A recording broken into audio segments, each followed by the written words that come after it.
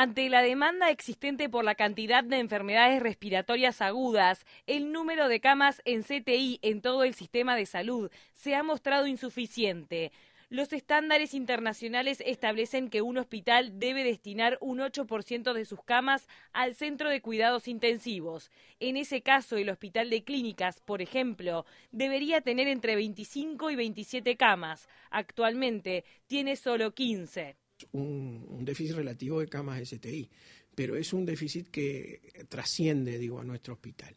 Cuando existen necesidades, se coordina a nivel público con la coordinadora de ACE, para las urgencias, emergencias y para CTI y se trata de sacar los pacientes del hospital. Muchas oportunidades se sacan. Luis Galo, presidente de la Junta Nacional de Salud, dijo a subrayado que en estos momentos están haciendo un relevamiento de los lugares en CTI de todo el país.